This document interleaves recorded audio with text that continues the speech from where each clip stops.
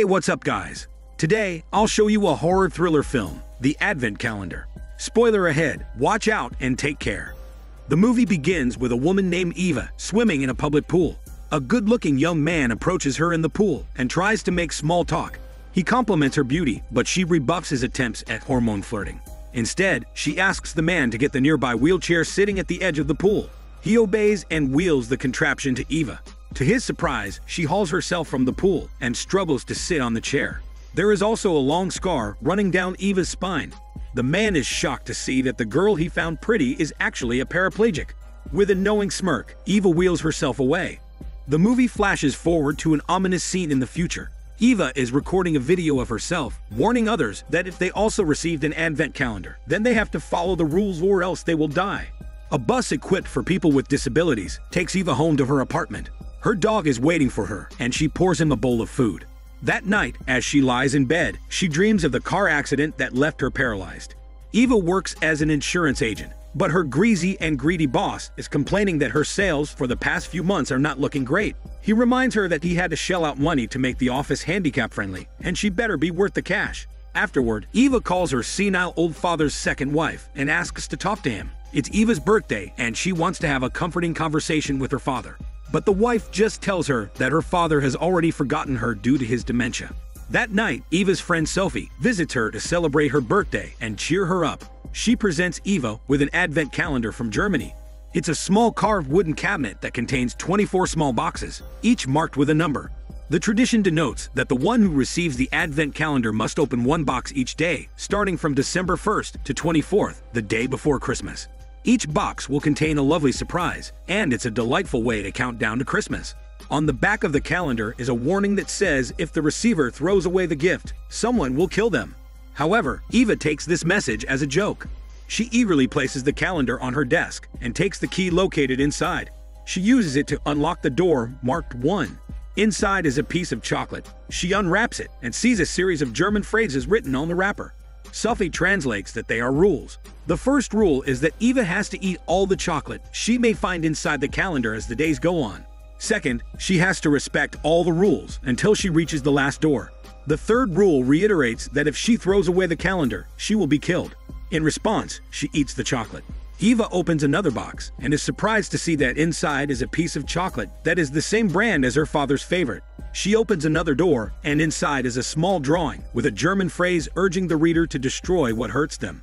Hours later, a recorded voice comes from the advent calendar, announcing that it's now midnight and Eva can now open another door. She unlocks it, and a wooden figure of a man emerges from the center of the calendar. The door opens, and inside is a message, uttering the parable of Jesus Christ commanding a cripple to walk again.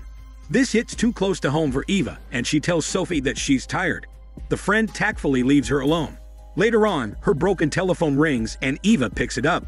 At the other end of the line is her father, but he doesn't speak again and the line goes dead. The next morning, her boss informs her that he's getting a newbie agent. To train her, she will handle some of Eva's clients.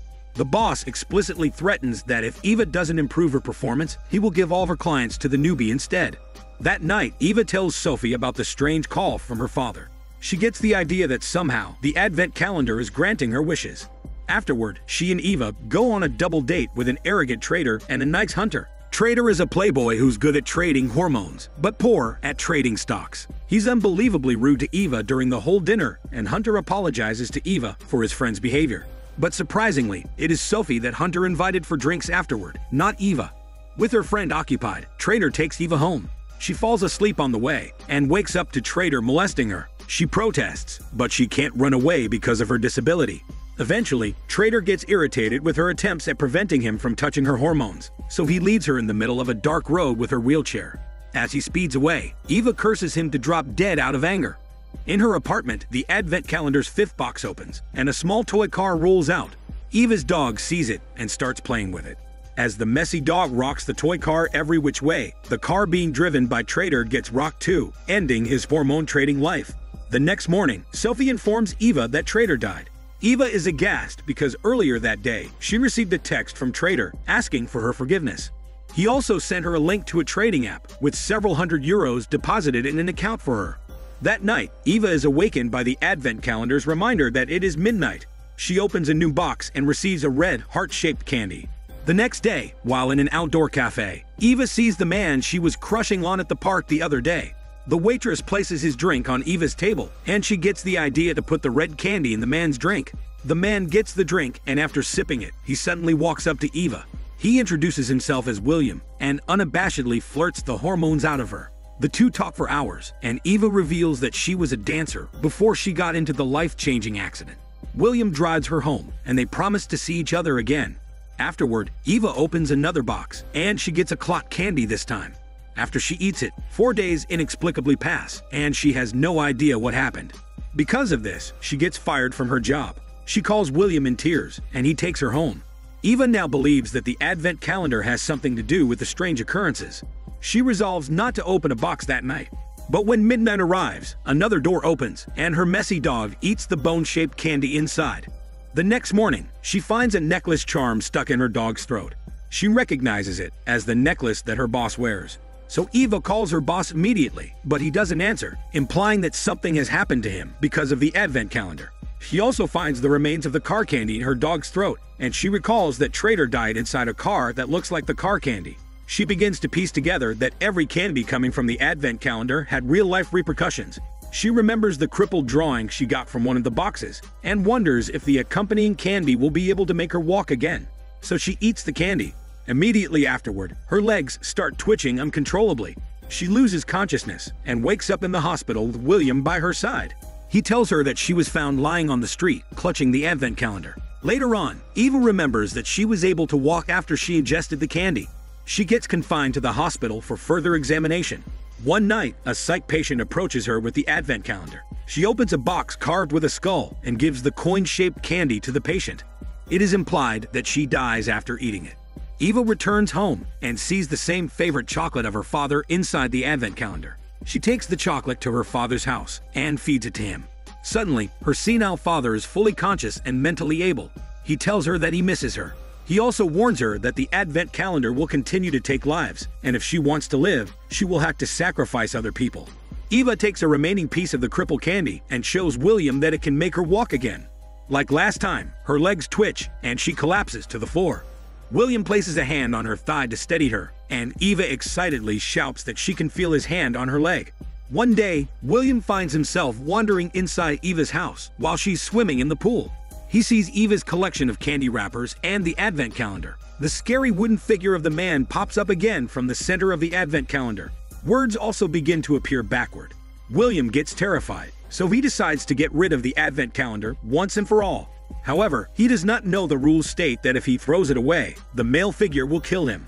He throws the advent calendar into the river. Right then, the super ugly male figure appears before the terrified William and drags him into the river and drowns him.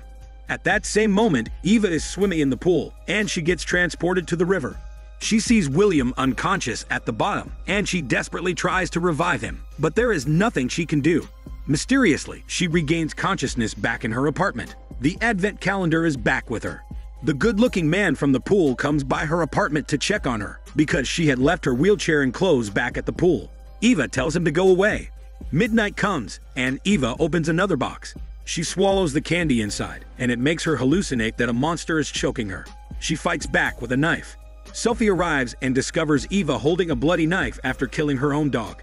Eva takes another candy later, it takes her back in time to the fateful car accident.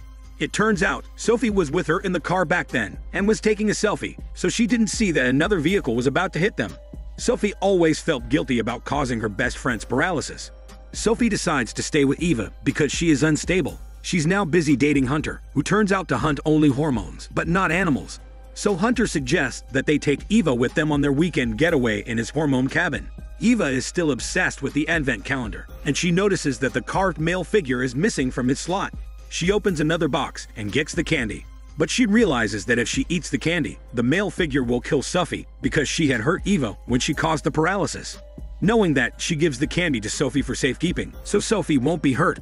She also discovers a painting hidden in a secret compartment in the advent calendar. The painting depicts a man killing his wife and son. In the corner of the room was the advent calendar, but later that night, the male figure, now an emaciated man with a terrifying mask on his face, walks into the cabin and kills Hunter and Sophie. He also forces Eva to swallow the candy. It turns out Sophie's death is the price she has to pay in order for herself to walk again, and Hunter's death is just a side sacrifice. Afterward, she traces the painting to the man who painted it. The man does not remember making the painting, and he has been blind for five years.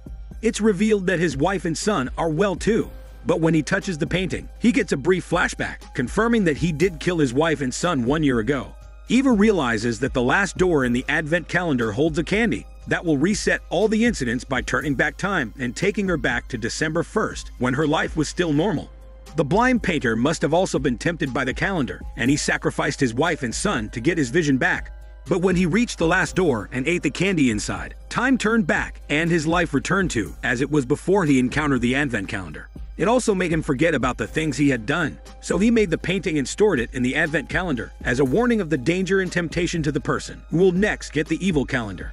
So now knows that when she reaches the last door on December 24th, all the people she had sacrificed will return back to life. But this also means that she will go back to being a paraplegic. She decides to make the most out of her remaining time. She sends the advent calendar to her cruel stepmother, who throws it in the fire, earning the wrath of the male figure and her death in the process. Next, she goes to her father and feeds him another chocolate that will cure his Alzheimer's. He knows what she's doing, and he accepts it. She also kills him as a sacrifice. Finally, she rents an expensive hotel room for her last night. She also invites the good-looking man from the swimming pool so they can play a satisfying hormone game together. Afterward, she tells him all about the advent calendar and the rules she was forced to obey. Before the clock strikes midnight, Eva goes up to the rooftop of the hotel with the advent calendar. She films a video of herself warning the next person we'll get the advent calendar. She then dances a beautiful ballet piece one last time before the reset. She opens the last door and holds the candy in her hand, ready to eat it.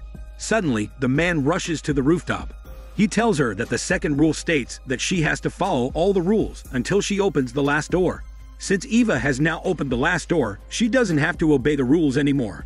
More importantly, she can choose not to eat the candy and be permanently able to walk. However, if she doesn't eat the candy, then time won't reverse, and all the people she sacrificed will stay dead. Due to the huge temptation, Eva's mind races, and the faces of her father, William, Sophie, and all the other victims flash in her head. The movie ends with Eva screaming and her decision remaining unknown. This is Daniel CC Movie Channel. Stay safe and enjoy your day.